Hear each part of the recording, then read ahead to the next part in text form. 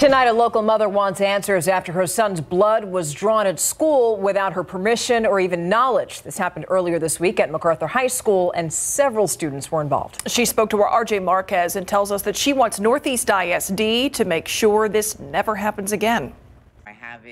Liz Hernandez got home from work late Tuesday and found something strange in her fridge. And I opened the fridge the next day to find the vial in the refrigerator. Now, apparently they have a phlebotomy class. I didn't even know that was a thing in high school. Liz's son Lorenzo is a sophomore at MacArthur High School. He told her that some seniors asked students on Tuesday to volunteer to give blood. There was people standing in line outside of the classroom, about nine or 10 people, and they each went in one at a time having their blood drawn. And the district tells us that the students conducting those blood draws were in a health science clinicals class and that there were about 20 students that had their blood drawn without permission.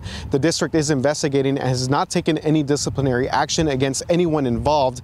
Liz tells us that she wants to see the district and the high school take responsibility and be accountable for what happened. I'm shocked and I'm very appalled because, like I said, I've never heard of a case like this. The principal contacted parents on Thursday confirming the phlebotomy students were, quote, doing this unsupervised. An NEISD spokesperson said equipment like needles or syringes were prepackaged and never left the classroom.